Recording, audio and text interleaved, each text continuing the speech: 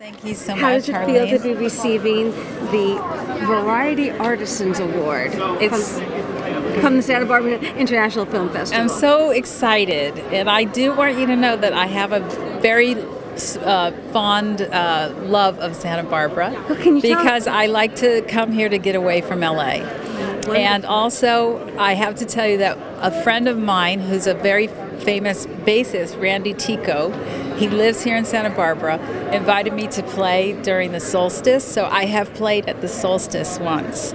And, and so I, I've always loved Santa Barbara. So it's a huge honor. And I thank you very much, Santa Barbara International Film Festival. Oh, well, that's thrilling. That's thrilling to know that. Um, can you tell us about creating the score for Encanto? Yes, it was a year long process. I worked with Jared Bush and Byron Howard and uh, Lin Manuel Miranda is amazing, you know, genius musician. And we just spent hours and hours talking about the story, looking at, you know, the uh, animation and different scenes, and created a, a score to sound like magical realism.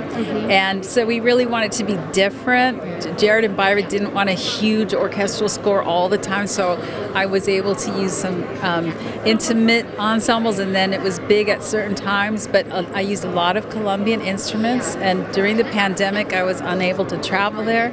So I had many instruments built for me in Colombia, like a marimba, a marimba de chonta, and uh, the arpa llanera, which is a Colombian harp, and tiples and percussion.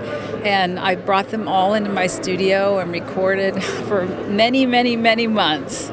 And here we are today. Wow, and here we are. You're, you're receiving the Variety Artisan Award. Yes, thank you so much. Um, and you've already answered. I was. Can you elaborate a little bit more about working with Lin Manuel? Yes, he's amazing. And when I first was brought on, he had all the songs going in some form or another. Some were complete, some were just changing lyrics.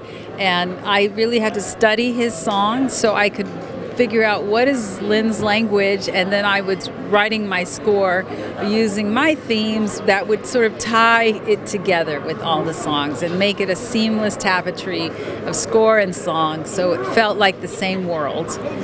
And what a fun thing for me to be like looking at Lin's demos, you know, and seeing how he thinks because that's just amazing for any musician to to learn about someone else's process.